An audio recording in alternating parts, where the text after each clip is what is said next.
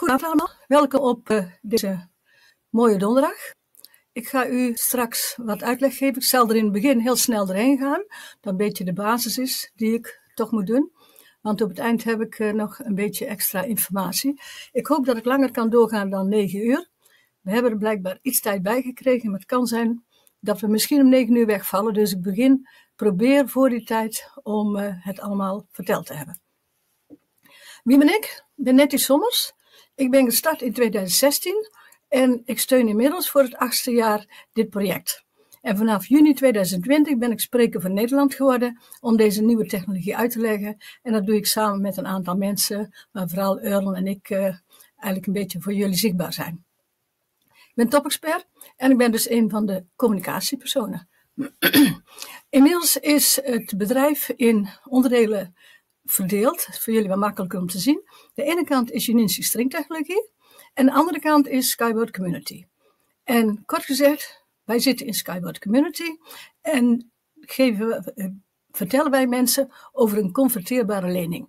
En dat is een lening die later omgezet kan gaan worden naar aandelen van het bedrijf. De drie belangrijkste onderdelen van waar wij over vertellen is de Ustring technologie. Dat gaat over de transportoplossingen en infrastructuurcomplexen. Dan heb je het Ecotechnopark in Belarus en het USky Test and Certification Center in Sharia. We hebben een nieuwe, nieuwe onderdelen hebben ze uitgesplitst, waar ook straks kleuren aan verbonden worden. Dat is ook voor trainingen straks, want er komt een heel nieuw platform. En bovenin rechts zie je het gedeelte van de landbouw, de vruchtbare grond. Links gaat het over de energie. Linksonder gaat het over lineaire steden. Dat gaat, komt toch eerder als we dachten. En rechts gaat het over het transport van USky. En daar gaan we het vanavond vooral over hebben. Anders wordt het helemaal veel te laat. En dat is toch het belangrijkste.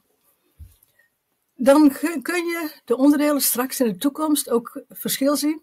Dan gaat het blauw, alles wat in blauw is, gaat over de financiële en investeringskant.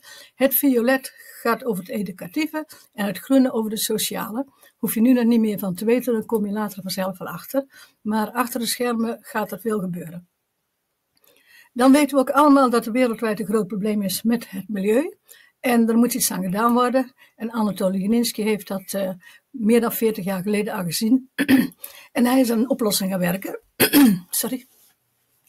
En hij is uitgekomen bij een transport op het tweede niveau. En het tweede niveau, dat wil zeggen in de lucht. Op de grond is het eerste niveau, de harde wegverharding zoals wij die kennen.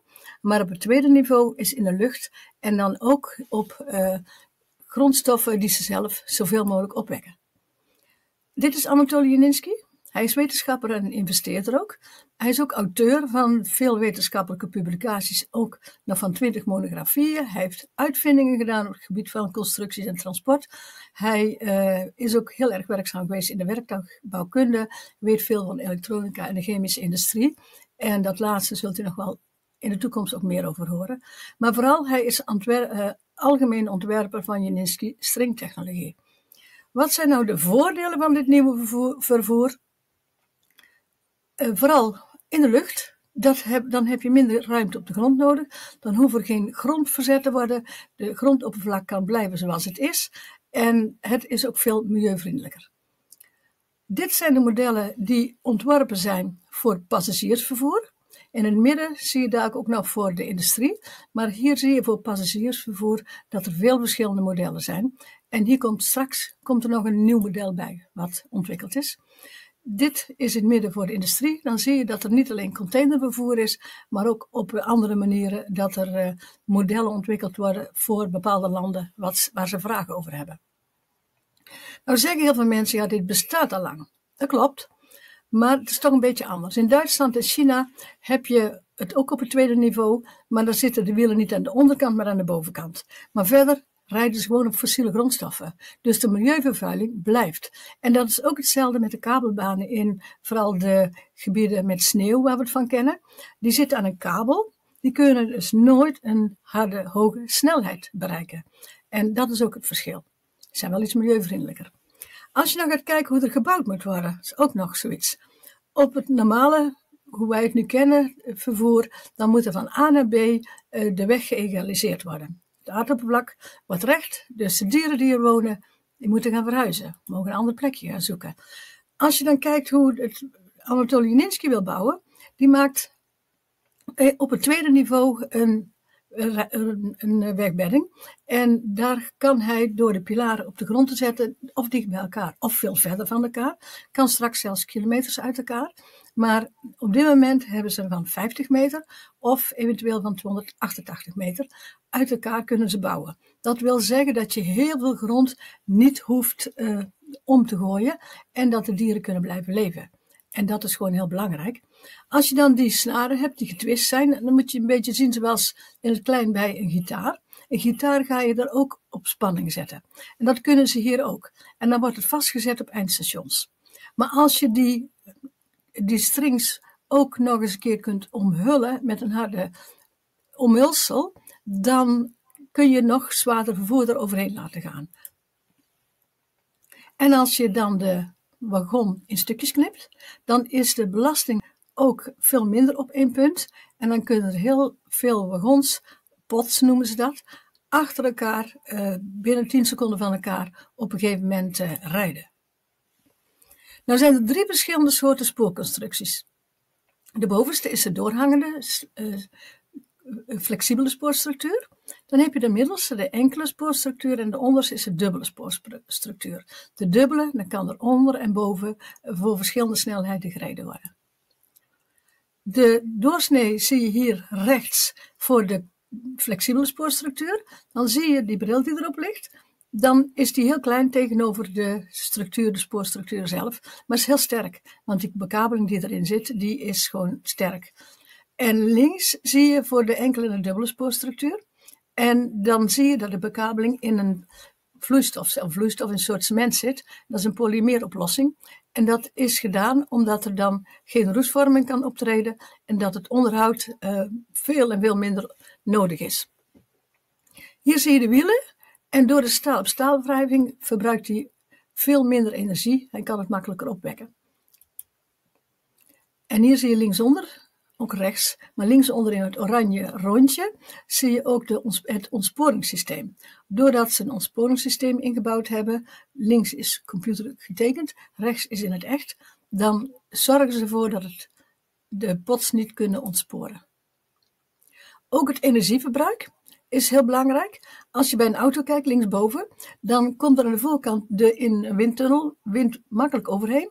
Onderin bij de wielen krijg je al tegenstand. En achter krijg je die luchtwerveling. Achter de carrosserie. En dat is heel van grote invloed op het brandstofverbruik. Als je dan kijkt naar de U-flash, die is ook getest in de windtunnel. Dan gaat de wind er aan de voorkant boven en onder vloeiend overheen, maar die gaat achterop vloeiend weg. En daardoor kan de snelheid veel sneller opgebouwd worden. Wat kan Anatolië hiermee bereiken? Nou, natuurlijk een beter leefmilieu voor dieren. Het transport wordt versneld, files worden opgelost en ook nog eens alles is geïnspireerd en georiënteerd op de groene energie, wat gewoon heel goed is voor de luchtkwaliteit. Inmiddels zijn er ook studenten die gestudeerd hebben hiervoor. En uh, er zijn al studenten afgestudeerd en werken inmiddels bij het bedrijf. Maar voordat je de markt op gaat, moet je natuurlijk ook certificaten hebben dat het veilig is. En inmiddels zijn er veel certificaten al afgegeven. En die bevestigen zo dat ze heel veel testen hebben doorstaan. En wat zijn vooral de testen? Als je dan kijkt, ze analyseren de stijfheid van de flexibele spoorstructuur. Ze kijken ook afhankelijk van de temperatuurimpact in koud en warm klimaat, maar ook van overdag en in de nacht. Als je dan kijkt in de warme klimaat, dan kan het s'nachts heel koud worden. Krachten worden berekend om te kijken of het allemaal ook uh, uh, ja, in gebruik genomen kan worden. En dat er uh, geen, zoals wij hier ooit hebben met uh, wegen, asfaltwegen, dat door de hitte wegen omhoog komen. Hier kun je ook die bekabeling, mag ook niet verder uittrekken, want dat zou ook niet goed zijn. Alvorens dit allemaal te hebben, moeten ze natuurlijk onder, van allerhande testen ondergaan. En daardoor krijgen ze certificaten en onderscheidingen. En uiteindelijk kunnen ook patenten verkregen worden. En ze hebben inmiddels ook al heel veel patenten. Maar ze hebben ook in 2019, dat is al voor de pandemie, zijn ze een spreker geweest en een van de experts zelfs in een VN-programma voor duurzame ontwikkeling. Dat is linksonder zie je dan bij het pijltje, daar hebben ze ook een certificaat voor gekregen. En rechts zie je een certificaat in 2018 al uitgegeven in Brussel, 16 februari 2018. En dat wil dus zeggen, ook al wordt er in België anders gezegd, dat dit bedrijf gewoon goedgekeurd is door de Europese Unie. Nou zijn er mensen die technisch zijn en die willen graag weten hoe de techniek in elkaar zit. Dan kun je op de website van Anatoly Ninsky kun je gaan kijken hoe dat allemaal werkt voor de techneuten. En mensen die niet zo technisch zijn, die kunnen een andere website bekijken. En dan kun je alles zien hoe het omschreven wordt in een duidelijkere taal. Dit zijn de verschillende modellen. Dan zie je links een heel rijtje, die kennen we allemaal. Het zijn modellen die kunnen allemaal die hier staan tot 150 km per uur de snelheid halen, behalve rechts boven de U-flash. Die kan tot uh, eh, 500 km per uur. En dan zie je rechtsonder twee verschillende modellen, iets groter, iets kleiner in het groen. Dat zijn de laatste nieuwe modellen die ontwikkeld zijn voor een bepaald land die een niet zo luxe uitvoering wilde hebben. Links de modellen zijn allemaal heel luxe en de bovenste ook nog rechts. Maar in veel landen willen ze gewoon goedkoop reizen en hoeven ze niet alles in leren bekleding te hebben en die soort dingen, zoals in de Verenigde Arabische Emiraten. En daarvoor is een nieuw model ontwikkeld. En die wordt op dit moment ook al getest.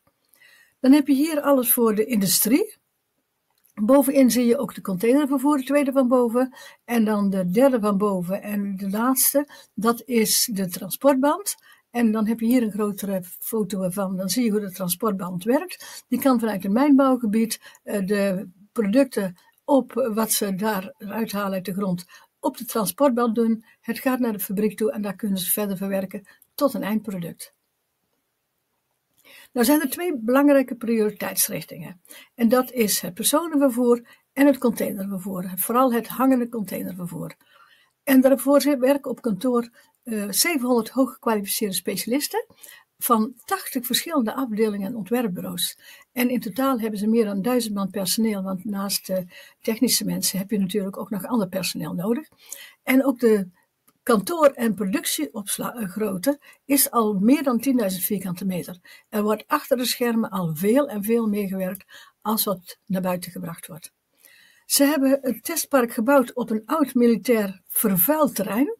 En in 2015 hadden ze een tekening gemaakt dat ze dit zo wilden gaan doen. Daar wilden ze in 2016 mee beginnen. Maar je ziet hier op plaatje rechtsonder dat de eerste begin gemaakt is daar. En in 2019, drie jaar later, moet je even de, de, uh, het waterpartij rechtsboven in de gaten houden. Drie jaar later is zelfs daar heel veel ontwikkeld. Als je dan kijkt, het is allemaal groen geworden. Ook de vijver erachter is veel en veel groter geworden. Vijver meer moet ik eigenlijk zeggen. Maar als je dan kijkt aan de andere kant, hebben we nog nooit gezien. Wij kijken alles vanaf de weg hier richting het water. Maar hierna heb ik zo meteen een foto vanaf het water, deze kant heen, die ik gekregen heb uit een uh, filmpje van de Vietnamezen die er geweest zijn. En dan zie je dat daar een heel groot park is ontwikkeld. Ik zal even kijken dat ik een uh, dingetje kan uh, pakken. Ja, hier, daar, daar is een park ontwikkeld, hier zo. Maar ook hier wordt veel voor de vis ontwikkeld. En hier zie je ook wat er heel veel verschil is gemaakt dan. Maar vooral vanaf hier, hier in deze omgeving, is heel veel ontwikkeld. En ook wordt er vanuit hier, deze weg, wordt er een route gebouwd die waarschijnlijk de eerste zal zijn die mensen brengt naar dit traject hier. En uh, dat is het eerste wat we straks ooit te horen krijgen als uh, eerste ontwikkeling van het eerste commerciële traject. Dit is de andere kant. En dan zie je de huizen, rechtsonder het grote plaatje. Je ziet die huisjes. Dat, daar kunnen mensen overnachten. Er is een website waar mensen op die website kunnen gaan kijken om te kijken een huisje te huren. Dat gaat nu vooral voor de mensen in dat land. En dan zie je dat je daarachter zie je het traject wat nu gebouwd wordt, waar ze aan testen zijn. Dit is het testcentrum in Belarus. En rechtsboven zie je iemand die uh, aan het vissen is daar. Dat gebeurt daar al. En ook als mensen zeggen, als er nou een wagon stilvalt, wat dan? Dan kunnen mensen niet uit. Hoe doe je dat? Dat wordt levensgevaarlijk. Nou, dat is niet, want als je rechtsonder op het plaatje kijkt, dan zie je aan de voor- en de achterkant een uitsteeksel, dat is een soort koppeling, een soort trekhaak. Als er een pot stilvalt, dan kan de andere aankoppelen en hem naar het volgende station brengen. Dus dat is ook veilig. Dan gaan we nu verder even naar de Verenigde Arabische Emiraten, want in april 2018 hebben de sheiks dit op een beurs voor het eerst gezien. En die waren er heel erg enthousiast over en die hebben het voor elkaar gekregen al om in september 2018 een handtekening te kunnen zetten onder een contract dat ze een stuk grond kregen in Sharia om daar een, ook een testcentrum te bouwen voor warm klimaat. En hier rechtsonder zie je de woestijn waar nog helemaal niks is.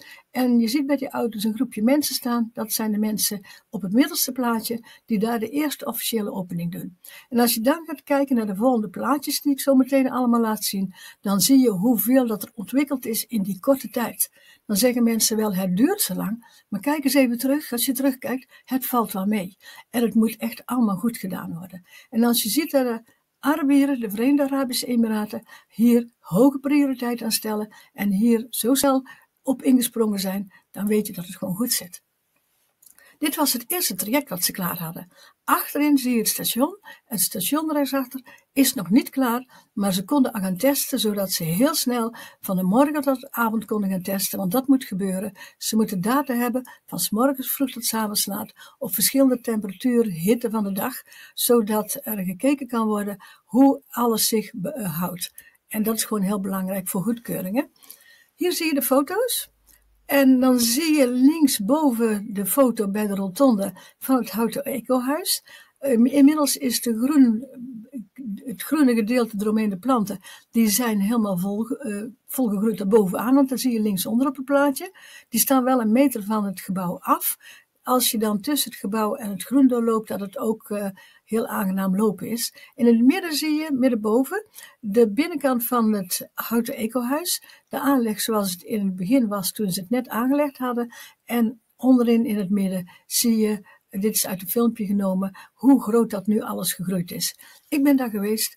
Als je binnenkomt, dat is heel raar, de bovenkant van het houten huis is open en je komt binnen en het voelt koel. Het is niet de kou van een airco, maar het is niet meer heet. Het is zo mooi om te, mee te maken dat je zegt, hoe kan dit? Hier zie je de binnenkant, heel luxe in het uh, station. Kunnen mensen op leren stoelen gaan zitten, wachten tot uh, de glazen deur open gaat en je met een uh, wagon mee kunt rijden. En dat zie je linksboven. Kun je daarin stappen. En rechtsboven is het eerste plaatje van het traject van 2,5 kilometer wat daar gebouwd is. Waar ze dadelijk de andere wagons op de snelheid tot 150 kilometer gaan testen. Want nu halen ze net de 100 kilometer nog niet. En het kan pas, het is pas klaar als die 150 kilometer ook gehaald is. Hier zie je de aanbouw linksboven van de kabeling die ze allemaal gaan leggen. En de onderste grote plaatje, dan zie je dat uh, spoor 4 vanaf het uh, universiteitsgebouw. Kijk je zo naar het uh, traject waar ze aan het bouwen zijn. Die vierkante vierkante uh, ja, pilaren, die worden als eerste bekabeld met het voor 2,5 kilometer. En daarna komen de ronde bogen die je daar rechts naast ziet. Hier nog een aantal plaatjes van de bouw waar ze mee bezig zijn. Hier nog een aantal, zie je links, hier zie je de sheiks voor een maquette staan. En die pijl wijst eigenlijk naar het plaatje dat ze ook het uh, traject van Juninsky stringtechnologie daartussenin ook in de maquette gebouwd hebben. Zo belangrijk zijn wij toch. Je ziet anders geen andere treinen, maar dat zie je wel. Anatoly Janinsky die heeft ook een interview gegeven aan de Emirati TV. En daar heeft hij van de gelegenheid gebruik gemaakt om te vertellen wat het resultaat is van vier jaar snaartechnologie in de Verenigde Arabische Emiraten. En in de stad Sharia wordt een wereldwijde basis gelegd voor de ontwikkeling, maar ook voor de promotie. Want alle promotie naar het buitenland gaat vanuit Sharia. En wat is ook de problemen? ze hebben dat problemen gehad, maar het stationonderhoud, kettingrailviaducten, geautomatiseerde systeembeheer en nutsvoorzieningen hebben allemaal verschillende keren een aanpassing gehad. En het is nu up-to-date en er zijn certificaten inmiddels voor afgegeven. De eerste keer zie je altijd kleine dingetjes die je wilt aanpassen. En dat hebben ze allemaal gedaan. En nu is hier gewoon goedkeuring voor gegeven. Dus dit is gewoon heel mooi. Als je dan kijkt, die eh, containers die ze aan het testen zijn, dit is nog een kleine container, maar straks moet het laadvermogen eh, voor een container tot 35, ja 36 zoveel geloof ik, maar ruim 35 ton moet die kunnen dragen. En er zijn al certificeringen afgegeven voor de lichtere, maar de grotere die moet straks ook op de 2,5 kilometer baan getest worden. Hier zie je het controlecentrum linksonder. Alles wordt met uh, camera's in de gaten gehouden in de, uh, de voertuigen, maar ook in de stations. En mocht er iets geks gebeuren in een voertuig, kan men op afstand communiceren met de mensen, maar men kan ook de deuren dicht houden. Hier zie je de productiehal. Rechts zie je de U-fles dat die uh, gebouwd wordt in productie, maar links is het nieuwe model. hebben ze ook gebouwd en dat gaat hier op transport om naar het testcentrum te gaan te testen. Ze hebben inmiddels al certificering voor warm klimaat, want de technologie voldoet inmiddels aan alle veiligheidsnormen. En dan, wat ik daarnet ook al zei, de spoorconstructie, het elektrische vervoer, anker- en tussensteunen die in het station zitten en het reinigerstation zelf, is allemaal getest en goedgekeurd. En wat wil dat zeggen? Dat ze, doordat ze geslaagd zijn hiervoor, ze hebben voldaan aan de wereldwijde eisen voor betrouwbaarheid, veiligheid en duurzaamheid. En dit zal het besluitvormingsproces in alle landen vergemakkelijken. Want landen hoeven nu niet meer apart de controle te doen. Deze, dit certificaat wil gewoon zeggen: het is goedgekeurd, je kunt dit project gaan bouwen. Het, is gewoon, het kan de wereldmarkt gaan betreden, wat inmiddels ook gebeurd is. En het is niet alleen dat de autoriteiten waar ze mee in gesprek zijn geweest in de Verenigde Arabische Emiraten zitten, zoals Abu Dhabi, Dubai en Sharia, maar inmiddels ook met de buurlanden Egypte, Saoedi-Arabië en Kuwait. Dat wil heel veel zeggen. De aanbesteding die in Dubai was, daar heeft Juninsky op een gegeven moment van gezegd dat ze meededen en dat ze hoopten te winnen. En dat ze wel zagen dat ze dachten dat ze het zouden winnen, maar het was toch wel aan de heersers van de Emiraten om die beslissing te nemen. En inmiddels weten we dat die gewonnen is door Anatoly Juninsky. En er waren meer bedrijven die uh, hierin meedongen. En er waren bijvoorbeeld de landen die als laatste nog overbleven, waren landen als China, de VS, Israël en Frankrijk. Toch heel mooi als hij daar met iets nieuws daar uh, iets heeft kunnen doen. Nou bekijkt Sharia ook een verbinding van de oostkust links van Sharia naar rechts, naar de kust. En daar heb ik straks nog wel meer plaatjes van, want hier hebben we nieuws over. Uh, de Genetische stringtechnologie heeft ook meerdere opties ingediend, want ze gaan niet alleen de verbinding naar Corfacan ontwikkelen, maar ook nog een traject voor vrachtvervoer in de haven, dus het stedelijke netwerk daarvan. En nu de 2,5 kilometer lange testlijn operationeel is, hebben ze ook de eerste goedkeuring gekregen al om te gaan bouwen in de kustplaats Corfacan. Dat is dus rechts waar de pijl naartoe wijst. Dus er komt zo meteen nog meer van, daar heb ik nog afbeeldingen van. Deze afbeelding hebben we een hele tijd terug al gekregen, want toen ik een vraag stelde die waarschijnlijk een beetje te moeilijk was, kreeg ik geen antwoord op. Toen kreeg ik dit plaatje. Als je dan kijkt, dit was dus ook een traject wat besproken is.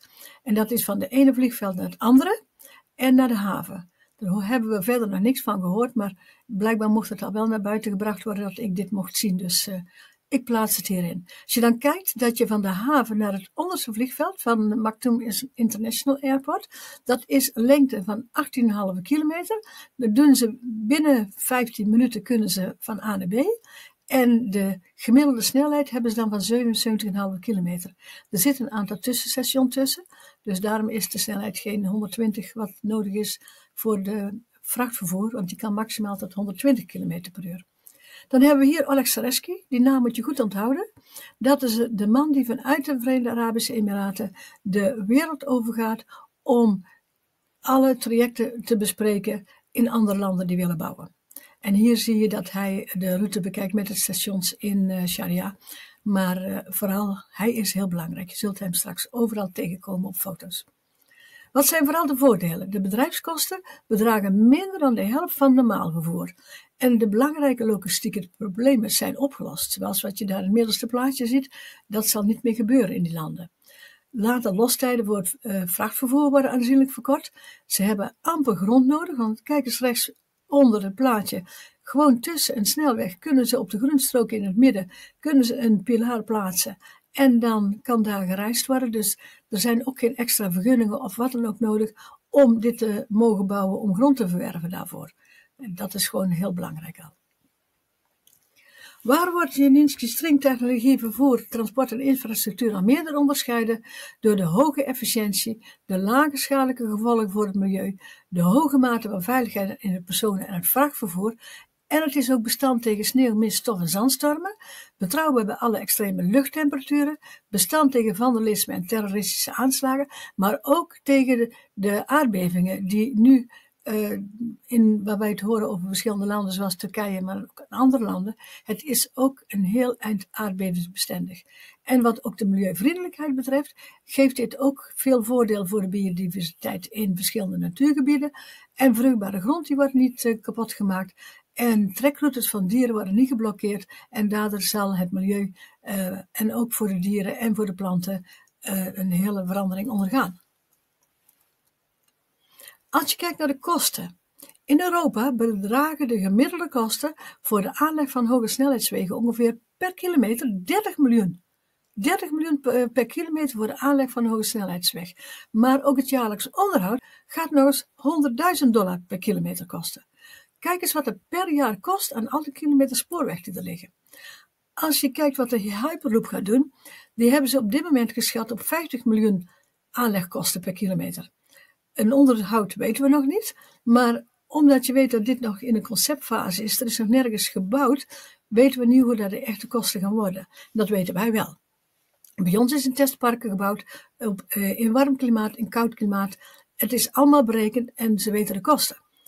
Als je dan kijkt dat de kilometer metro kan oplopen tot 150 miljoen en het transport- en infrastructuurcomplex van Janinski stringtechnologie gemiddeld 10 miljoen is, dan is dat al veel goedkoper, maar ze kunnen zelfs bouwen tussen de 1 en de 15 miljoen. En dan kan het, als het makkelijke grond is, nog goedkoper worden. Dus dat is een heel groot verschil. Dan, dat wil dus zeggen dat genetische stringtechnologie dit in de wereld fundamenteel gaat veranderen. Voordat we over heel de wereld uh, overal een dekkend spoortraject hebben, dat gaat nog lang duren. Maar de eerste trajecten, daar wordt nu aan gebouwd. Of er wordt aan berekend. Er is ook samenwerking met partners. En dit is vooral, uh, doe ik dit uh, neerzetten, laat ik dit staan telkens voor onze Belgische mensen. Want het bedrijf Bekaart, dat kent iedereen. Als je dat laat zien in België, dan zeggen die: Oké, okay, levert Bekaart aan hun. Nou, dan moet het een goed bedrijf zijn, want die is blijkbaar in België zo bekend. Iedereen kent het. En hier zie je linksonder de bekabeling, die ligt daar op woestijngrond. Ik heb straks ook nog een plaatje dat die ligt op kiezelgrond en dat is in de Verenigde Arabische, niet, oh, dat is in Belarus en dit is in de Verenigde Arabische Emiraten. Hier hebben we de foto. Dit is een contactpersoon waar ik veel contact mee heb. Die heeft mij deze foto gestuurd. Dan zie je al die kabelrollen liggen. En die plaatjes die erop zitten, dat zijn deze transport, uh, de, ja, transportpapieren. En dan zie je dat daar BKAT op staat en je stringtechnologie. En elke bekabelde rol die heeft deze informatie erop staan. En wat zie je hier in de Sharia? Zie je links bij die pijl dat daar die rollen liggen. Die worden gebruikt. En dit was de aanbouw van dit traject, het 2,5 kilometer traject. Inmiddels is het klaar en zijn deze dingen weg. En wacht men op de, uh, een uh, bot die nu onderweg is van Belarus naar de Verenigde Arabische Emiraten. En uh, zodra die aanwezig is, dat gaat nog een paar weken duren, dan kunnen ze gaan testen. En dan gaan wij waarschijnlijk ook horen wanneer daar een open dag is, want die komt in Sharia blijkbaar. Hier zie je het toegangsbord naar de ingang van, de, uh, van het, testpark. En als je dan kijkt, dan zie je hier zie je de auto lopen. En die auto, dat is de toegangsweg. Die weg die gaat, draait hier zo af. Eh, mijn ding draait hier zo af. Die gaat hierheen en dan gaat de weg hier naar het paviljoen.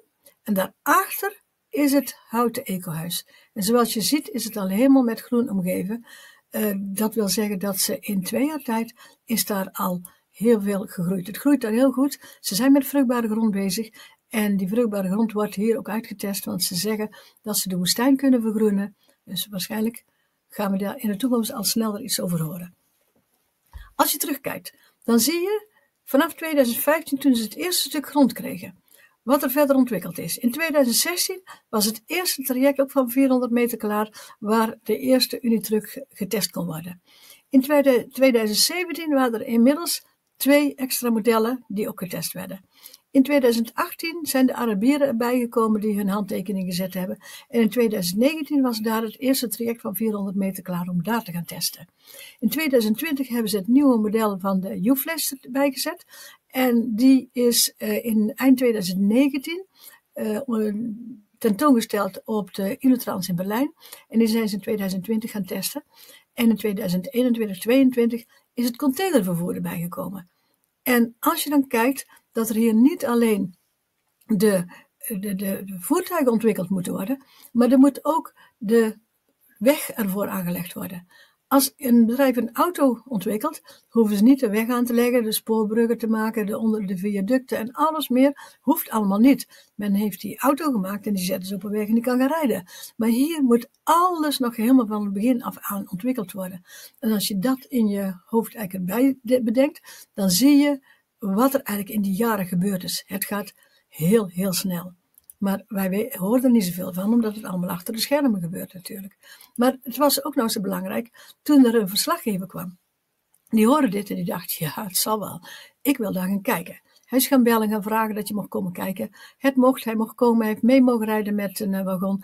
Dat filmpje heeft hij online gezet. En CNN en Fox News gaven meteen namen dit over. En ook andere nieuwszenders namen het over. En binnen de kortste keren hadden verschrikkelijk veel nieuwszenders dit die dag naar buiten gebracht.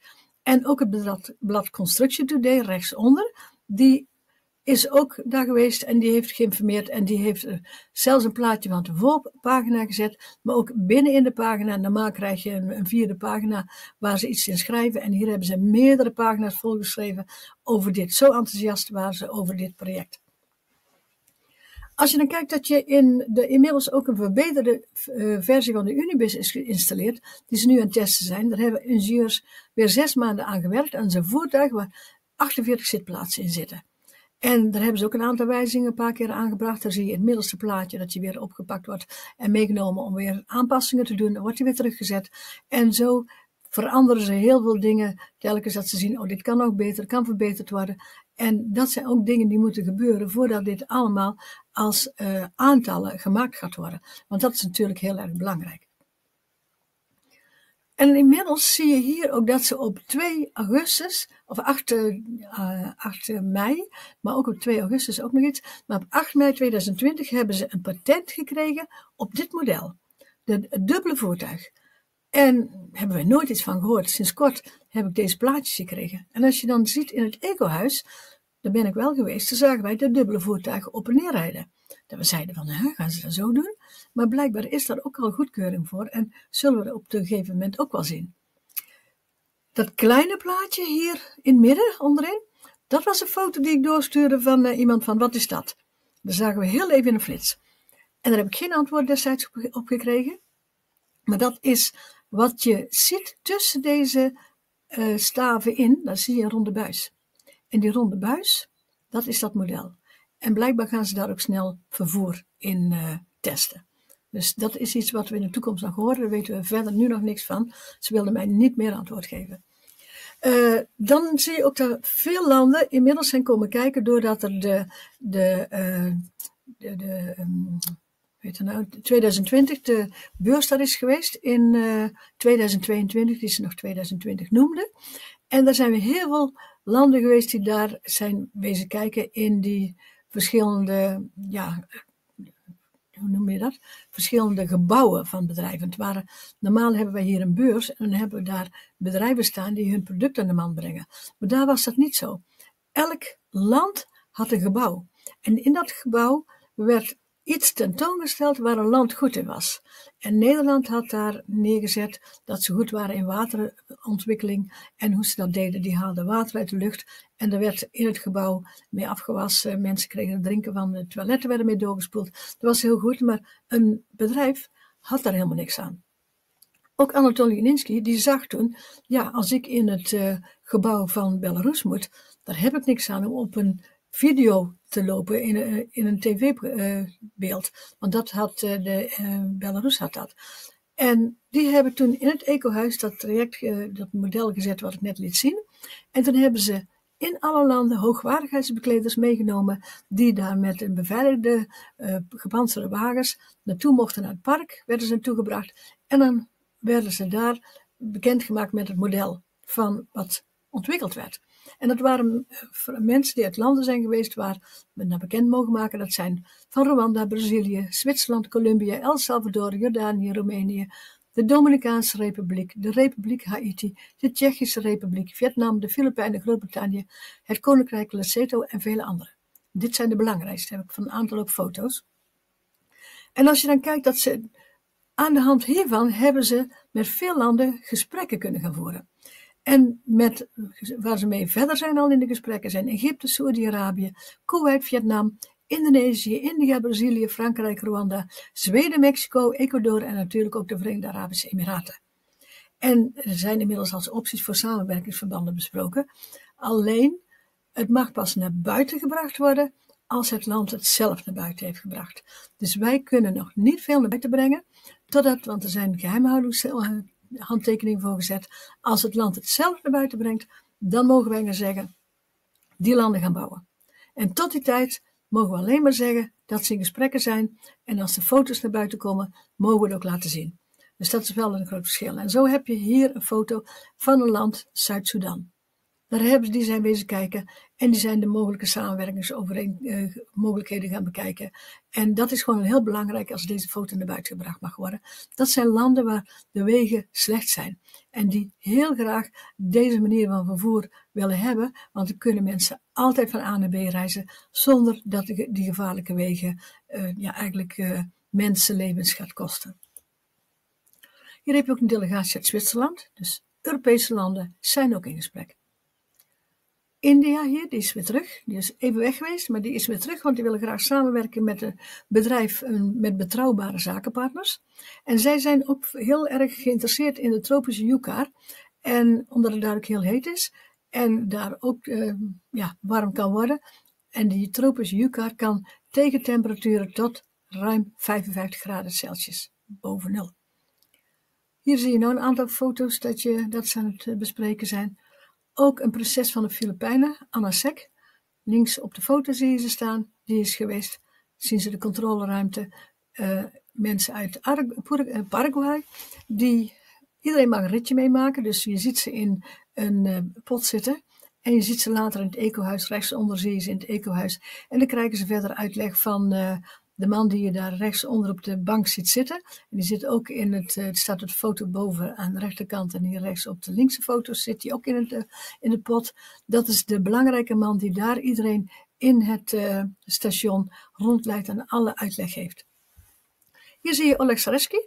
Die staat er voor een groep mensen uit Brazilië. En dan moet je even nadenken. Hier zijn overheidsfunctionarissen, maar ook burgemeesters en ondernemers uit Brazilië. Wat denk je, waarom komen ondernemers er? Die moeten gewoon naar kijken, als er ooit gebouwd gaat worden, hoe het moet. Hier zie je Vietnam en dan zie je rechts, via Transnet is er opgericht door uh, uh, iemand van het bestuur van uh, Vietnam, Vladimir Maslov. En die gaat zich vooral meer richten op Vietnam om daar in dat land verder de ontwikkeling van het transport te ontwikkelen en te begeleiden. Maar verder weten we er ook nog niks van. Dit is Korea. Dan zie je links op het grote plaatje dat ze al aan het uitleggen zijn waar ze een traject willen hebben. Ja, het zijn gesprekken. Een dame uit Kirzië, dat is Sarapet Masitova. En zij is directeur, of algemeen directeur moet ik zeggen, van twee transportbedrijven. Ja, transportbedrijven zijn nodig om uh, iets te vervoeren natuurlijk. Dit is de koning van Lesotho. En die, dat zie je, Lesotho ligt in Zuid-Afrika. Die hebben geen verbinding met, een open verbinding met een haven. En zij willen vanuit Lesotho een traject gaan bouwen naar de haven, zodat de mensen in het land Lesotho hun producten sneller bij de haven hebben om vervoerd te worden. En dat, ze zeggen ook, het zal de problemen oplossen en het zal hun landbouwsector ondersteunen om gewoon meer investeringen te kunnen aantrekken, maar ook hun producten verder sneller vervoerd te hebben. Dit, deze mensen hebben wij gezien toen wij in uh, eind uh, vorig jaar, eind 2021 waren we trouwens in, uh, in de Emiraten. En toen hebben wij een delegatie aanzien komen in gepantserde wagens. kwamen mensen uit, wij moesten wachten. Ze mochten even voor om in de pot te stappen om een stukje te reizen. En dat vonden wij zo raar, want er waren vier mensen die reizen erin. Andere mensen met witte jurk aan, stapten weer in de auto's en reden verder. Het was zo raar, maar later, een paar weken later, kregen wij een uh, filmpje. En toen zagen wij de foto's van de middelste foto dat Earl mij belde. Net, je hebt je gezien wie er is? Nee, ik heb het niet gezien. Hij zei, ik herken het mannetje in de hoek. En ik ging kijken. Ik zei, maar ik ken die dame in die rode jurk. Daar moesten wij wachten. Juist ja, wij hebben het echt gezien dat daar mensen zijn komen kijken om het traject te testen. Dus het is echt waar wat daar gebeurt. Er komen hoogwaardigheidsbekleders. Ze zijn ook heel trots dat de koning van Lesotho daar is geweest. En daar zijn ook vergaande gesprekken inmiddels mee. Hier zie je Rwanda. De ambassadeur van Rwanda is hier. En ook de CEO van Rwanda, van het departement. En ook van het kabinet. Dus die mensen die zijn daar. Jee, je krijgt een berichtje. Sorry, er was iemand een bellen die niet weet dat ik een presentatie bezig ben, denk ik. Dus maar, uh, sorry daarvoor. Verder de openbaar vervoerprojecten voor Rwanda. Ingenieurs en specialisten uit Rwanda, die zijn ook daar geweest en die zijn aan het kijken geweest om een model, een afgeleide van een model te hebben wat goedkoper is. En links dat plaatje wat je ziet, maar ook het volgende plaatje, dat zijn de twee modellen waarvan ze een afgeleide eh, model hebben willen maken. En dat heb ik jullie straks al laten zien. Maar uh, zometeen heb ik ook nog plaatjes van. Dit is de U-Light en de U-Car. Links is de U-Light, rechts is de U-Car. Dat zijn de twee modellen waar ze de goedkopere versie van gaan maken, zodat mensen goedkoper kunnen reizen. En hier heb je de foto van het model, wat ik straks ook liet zien. Als je dan kijkt hoe groot dat zo'n uh, pot is, die persoon die ernaast loopt is zoveel kleiner. Dat zijn echt gigagrote modellen die op vervoer moeten om weer ergens ingehangen te worden, om getest te worden. En zo eentje is nu onderweg naar de Verenigde Arabische Emiraten. Dit is de vrouw van Anatoly Janinski, Nadezhda Kosareva. En zij zegt dat de Aziatische markt uh, de beste markt is voor hun, waar ze het meeste naar zullen gaan uitbreiden, want daar is uh, heel veel uh, vervoer nog nodig. En zij ondertekent ook heel veel overeenkomsten met deze landen. Ook het microklimaatsysteem in de pots, in de wagons, die moet natuurlijk ook gezond blijven. En daar hebben ze een speciaal microklimaatsysteem ontwikkeld. En die bewijst zelfs een activiteit, effectiviteit bij meer dan 50 graden Celsius. Het is een heel speciale ontwikkeling van die luchtuitwisseling. En in de cabine wordt de luchtuitwisseling continu gevoerd met frisse lucht, omdat ze de uitgeademde lucht kunnen ze van de passagiers kunnen ze compenseren. En dat is getest in koud en warm klimaat, dus in koude temperaturen en voor warme temperaturen. En gemiddeld kunnen ze het op 23 graden Celsius houden. Ook heel mooi. Welke projecten zijn nu officieel bekendgemaakt? Dat zijn er nu een aantal die naar buiten gebracht mogen worden. En dat is op de Innotrans in Berlijn. Heeft de eh, RTA, die nam daar deel aan, dat, uh, aan de Innotrans. En die heeft een uh, wagon van uh, stringtechnologie op hun stand gehad. Dus deze linkse plaatje in hun stand. En daarmee kondigden ze aan dat ze een 15 kilometer lang traject gingen bouwen met 21 stations in Dubai. Er komen nog meer projecten. Er zijn meer projecten waar ze in Dubai mee aan, in gesprek zijn. Maar dat gaan ze niet vertellen. Dit traject van 15 kilometer zal gevolgd worden, de andere niet. En dat is dus ook om de, voor de afspraken, maar ook uit veiligheidsoverwegingen. Maar er is ook nog steeds oneerlijke concurrentie. En daarom wordt daar niet over gesproken, alleen deze 15 kilometer. En daar zullen we in de toekomst waarschijnlijk ook al meer plaatjes van krijgen. Dit was een video waarin ze dit bekend maakten. En dan zie je, 8400 passagiers kunnen ze per route vervoeren. Is 15 kilometer, 21 stations. Het verbindt de meeste vitale gebieden van Dubai. En ja, ze vinden het gewoon heel mooi. Dit zijn een aantal stations. Als je dan kijkt, de twee onderste stations, die hebben aan de bovenkant ook nog een, een landingsplatform voor helikopters. Er is ook bekend gemaakt dat Indonesië een traject uh, getekend heeft. En de regering die wil de huidige hoofdstad, Jakarta, wordt vervangen. En die gaat naar het nieuwe eiland Borneo. Dat is al sinds 2019 bekend. Maar volgens de president is de megapool Jakarta met zijn 11 miljoen inwoners niet meer geschikt. Want heel veel stadsdelen liggen onder zeeniveau en die staan regelmatig onder water. Inmiddels hebben ze daar een nieuwe uh, handtekening gezet onder een traject. Dan zie je onder een contract, sorry. Dat zie je hier de plaatjes rechtsonder. Het eerste links is dat ze gaan tekenen. Het tweede is dat ze getekend hebben, dat ze laten zien. En het derde krijgen ze ook nog een of ander beeldje van uh, Indonesië. En dat is Oleg Sareski, staat hier weer op die foto. Je kunt niet goed zien, maar dat is hij ook weer. Dit traject kan straks in drie minuten uh, bereisd worden waar je met de bus 50 minuten over zou doen en met de auto zelfs nog 25 minuten. Dus dit is dadelijk voor de mensen, als het onder water staat, helemaal ideaal, want ze kunnen toch van A naar B reizen. En dit is een plaatje van de nieuwe hoofdstad, Nusantara. En die gaat dus uh, de eilanden ook verbinden. Dat de eilanden verbonden worden met de nieuwe hoofdstad. Ook El Salvador die bespreekt een uh, traject. En die, uh, de, de president maakte deze plannen bekend. En ze hebben de eerste fase van het project al met succes afgerond.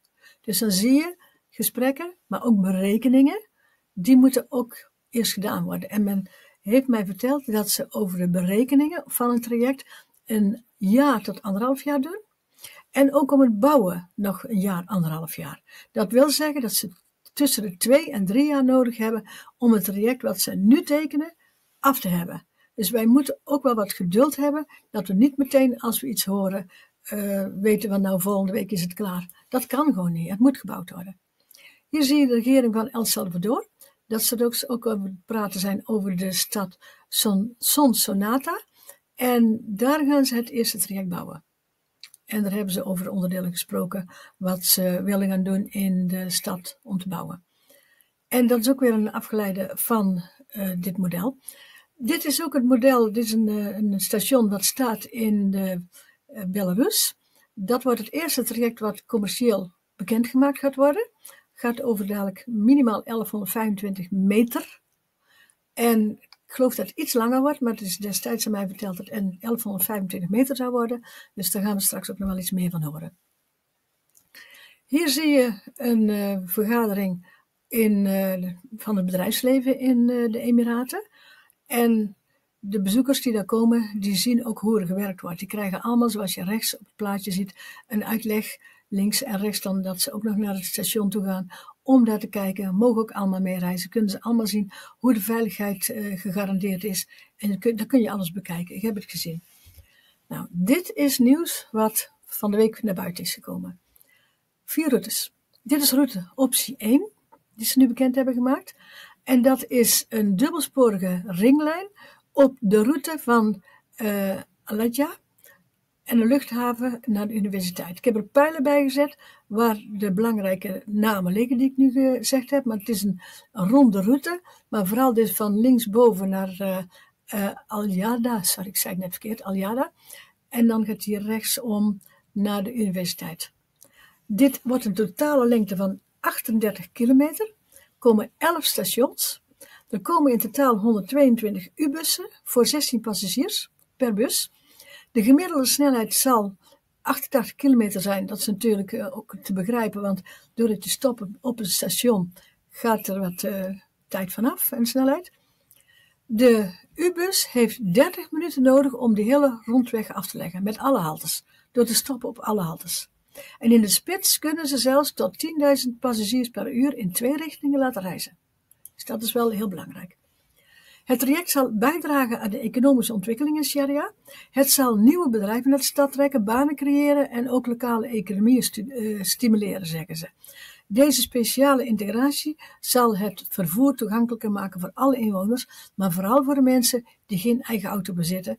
En dan zie je ook dat ze ook hier de modellen gebruiken van de laatste nieuwe, die niet heel luxe zijn. Dus straks zal er een luxe traject ergens komen, maar er zullen ook heel veel modellen komen, wat die gewoon iets uh, eenvoudiger en minder duur ingericht zijn. Dan heb je route 2. Dat is van Sharia Beach, dus gaat nog steeds over Sharia, naar aan de andere kant Sharia Safari.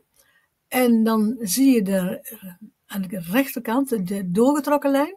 Dan gaat hij hier over van Aljada naar uh, Sharia Safari.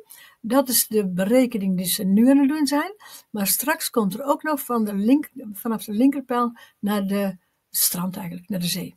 Dat komt later nog. Maar dit wordt een 45 kilometer uh, lengte dubbelsporig uh, traject. En hier hebben ze ook foto's bij gegeven toen. Een beetje gevisualiseerd, dat je kunt zien hoe de stations er komen. En dan zie je ook de modellen, dat het uh, is duidelijker hier dat het uh, de eenvoudige modellen zijn, de goedkopere. En dan hier de routeoptie van Alatja Aljada, ik zeg het net even verkeerd, sorry, van Aljada naar de zee. Uh, dat is nog 9 kilometer wat ze toekomstig gaan bouwen. En op dit traject gaan ze nog 43 elektrische U-bussen inzetten. En die kunnen gemiddelde snelheid van 122 km per uur halen. En route 2 heeft ook, zeggen ze, al die routes, maar deze vertelden ze dat ze de milieuvoordelen groot zijn, omdat de koolstofvoederafdruk veel wordt verkleind. En mensen hoeven niet meer met de eigen auto te rijden, want ze kunnen in plaats van de eigen auto het openbaar vervoer pakken. Dit zal zeker ook weer nieuwe bedrijven naar de stad trekken en banen creëren. Maar het is ook heel handig voor mensen die geen auto kunnen betalen en die anders een taxi moeten nemen. Die kunnen hier voor een klein bedrag gaan reizen. dan hebben we optie 3. Dat is de langste en meest complexe van het geheel. Die heeft ook meerdere tussenstops. Maar de route rijdt tussen Tital City en Kalba. Dat zijn de twee pijlen die er staan. En ertussenin zijn nog drie stopstations. En ze gaan dus, dit gaat in totaal een route worden van 106 kilometer. Er komen 103 uurbussen op. Die kunnen een snelheid halen van 140 kilometer gemiddeld per uur. En ze kunnen in 45 minuten deze route rijden. En dat is zelfs ook tot de kust toe. Dus maar de kust heb ik zo meteen ook een, een deel nog van. Dit U-Sky-traject kan ook zeker weer helpen om het toerisme aan uh, beide kanten van de zeekusten te verbinden en ook het toerisme te helpen verbeteren nog. En dit zal zeker, denken ze ook weer, meer toeristen naar de stad trekken. Ook ik ben een beetje te vlug, want je ziet daar ook de moskee op de foto links. En daar is natuurlijk ook een, een halte bij de moskee. En uh, dat, dat, je ziet verder nog niks eromheen. Maar zo kunnen mensen toch op een eenvoudige manier naar de moskee gaan en goedkoop.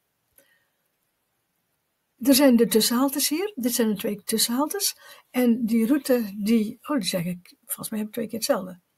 Oh nee, ze kunnen, later komt die uitbreiding, dat is hier. Later gaat de uitbreiding van 26 kilometer van het busstation van Tital City links naar de haven. En uh, de tussenstations daarboven zie je nog, die, daar zit de, de moskee ergens. Maar de stippellijntjes, dat is de uitbreiding die ze kunnen doen. En dan komt de totale routelengte uh, langer. Hier zie je de visualisatie van, van dezelfde route in feite. En dan zie je de, de uh, moskee, die komt bij de linkerpijl. Daar komt de moskee te staan. Dus dan uh, is het even wat duidelijker.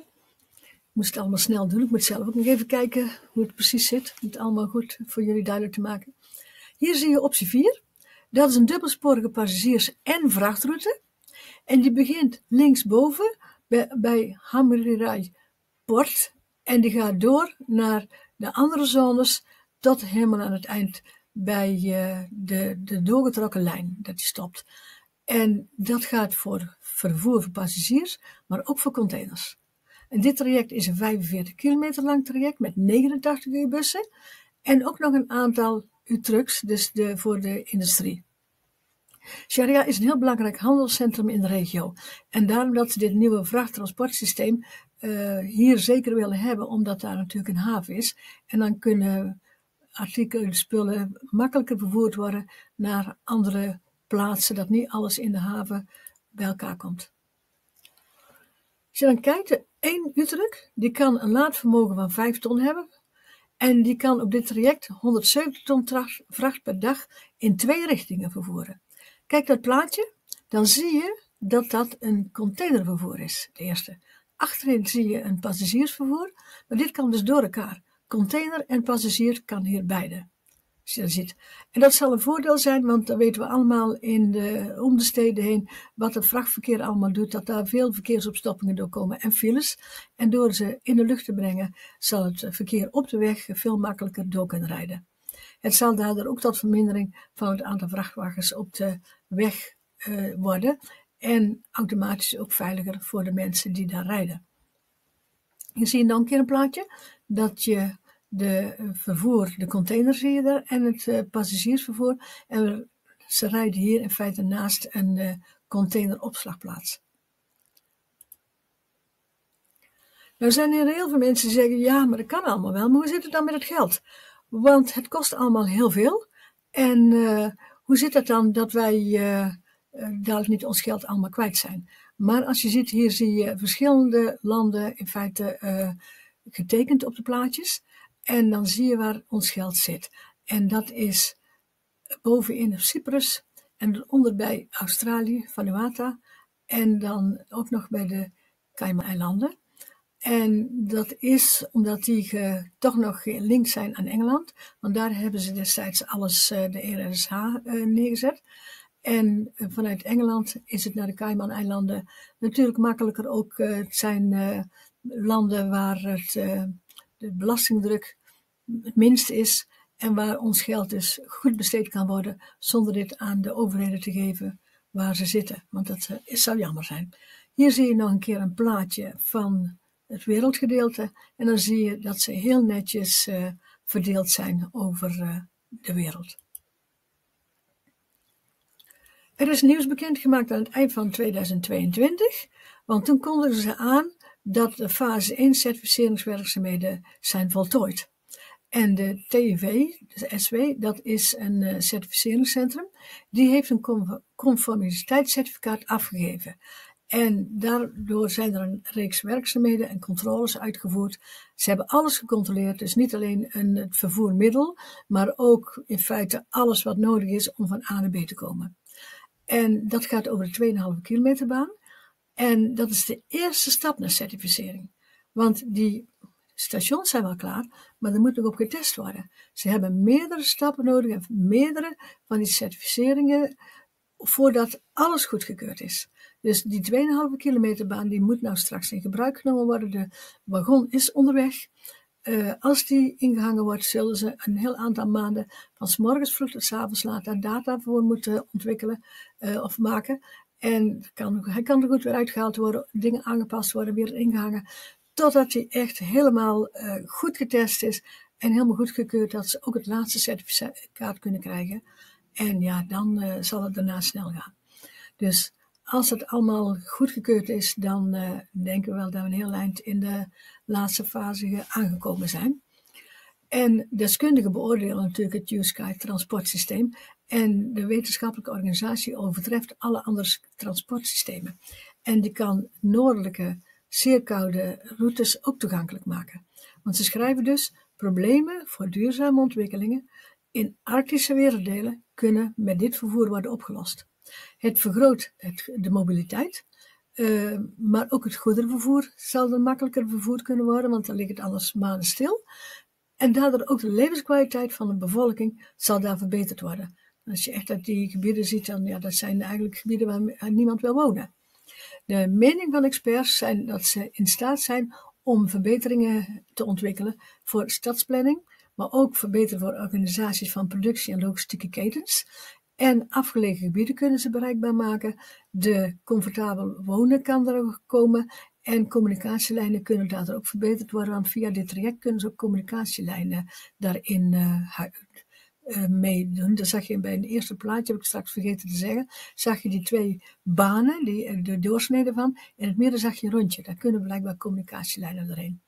Dit zal de mobiliteit van de bevolking verbeteren, maar ook natuurlijk de, bereikbaarheid en, en, alles meer. Ze, mensen komen, daar een beetje beter bij de wereld, denk ik.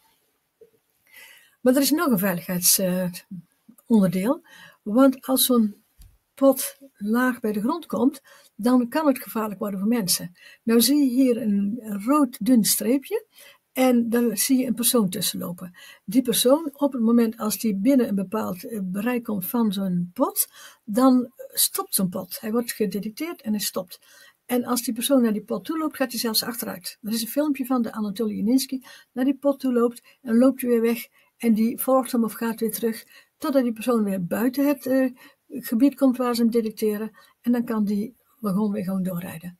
Dus dat is wel uh, heel mooi.